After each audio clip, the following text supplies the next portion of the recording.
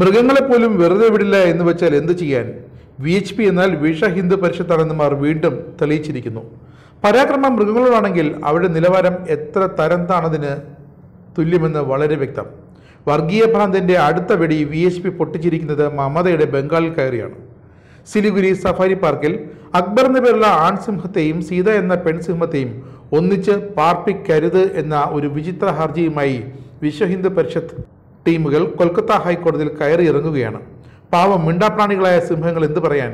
India കണ്ട അമിത മൃഗസ്നേഹി മനേക ഗാന്ധിക്ക് എന്ത് പറയാനുണ്ടാകും ഈ വിഷയത്തിൽ?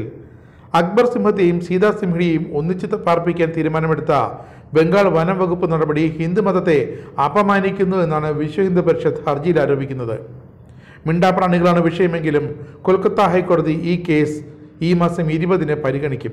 വിശ്വ ഹിന്ദു പരിഷത്തിന്റെ ബംഗാൾ ഘടകത്തിന്റെതാണ് ഈ വിചിത്ര ഹർജി. കൽക്കത്ത ഹൈക്കോടതിയുടെ ജൽപൈഗുരി ബെഞ്ചിന് മുന്നിലാണ് വിചിത്ര ഹർജി എത്തിയത്.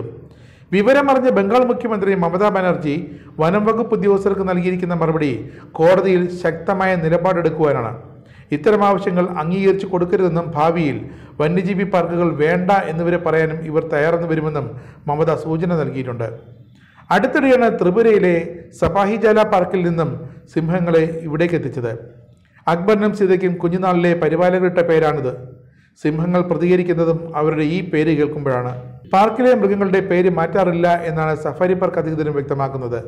അതുകൊണ്ട് തന്നെ ഇണകളായ സിംഹങ്ങൾ സഫാരി പാർക്കിൽ ഏറെ സ്വാതന്ത്ര്യത്തോടെയാണ് കഴിയുന്നത്. അവരെ ഇണപിരിക്കാൻ രാജ്യത്ത് ഒരു വന നിയമത്തിനും സാധിക്കുകയുമില്ല.